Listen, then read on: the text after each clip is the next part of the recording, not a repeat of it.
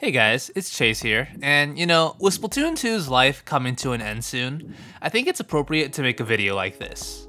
Today, I'm gonna talk about 5 things that piss me off in Splatoon 2. A couple of these things are a little obvious, but some of these I've literally never mentioned on this channel before. Without further ado, let's get into it. Number 1. Disconnections while on the home menu or friends list. So I'm sure most of you know what I'm talking about, but in case you don't, let me just explain really fast.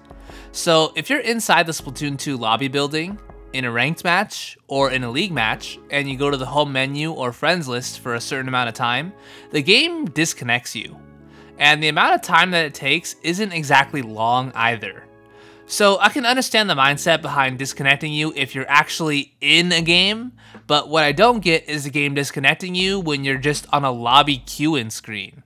There's nothing more annoying than having an open lobby for League or Salmon Run than getting disconnected because you want to accept a friend request or something.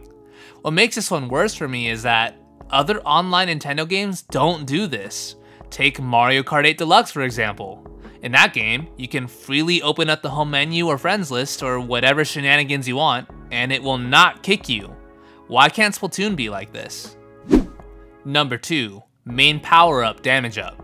So yeah, a lot of you probably saw this one coming, so I won't dwell on it too much.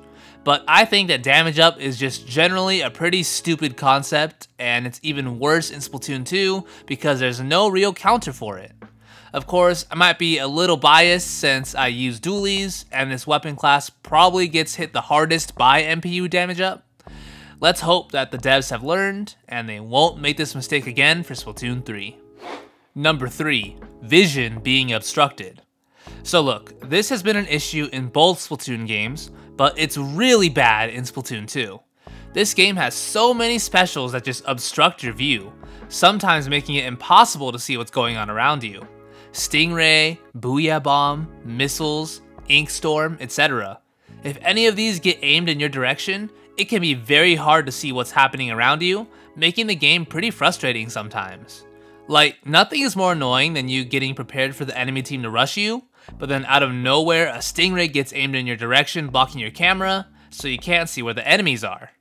I will say though that from what we've seen from Splatoon 3, the specials look a lot better in this regard.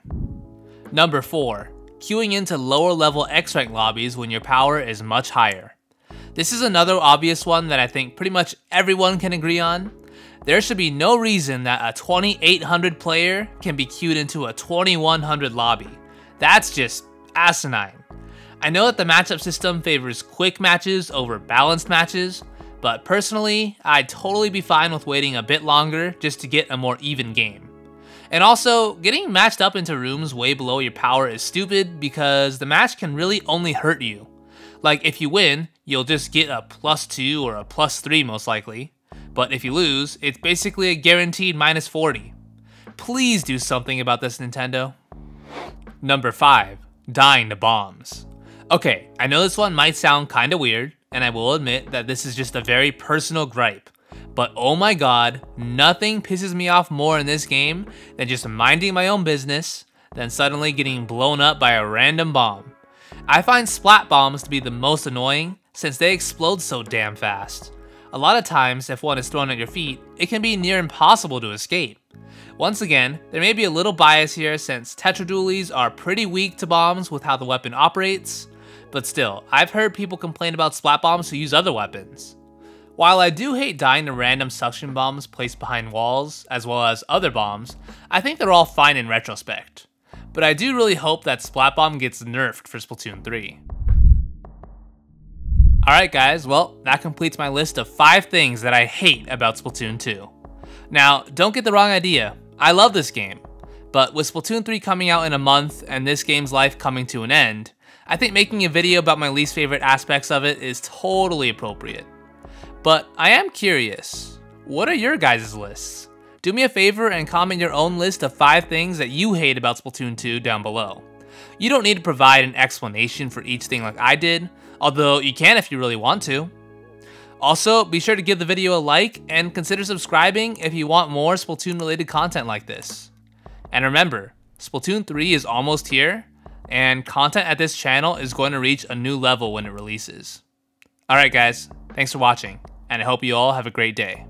Take care.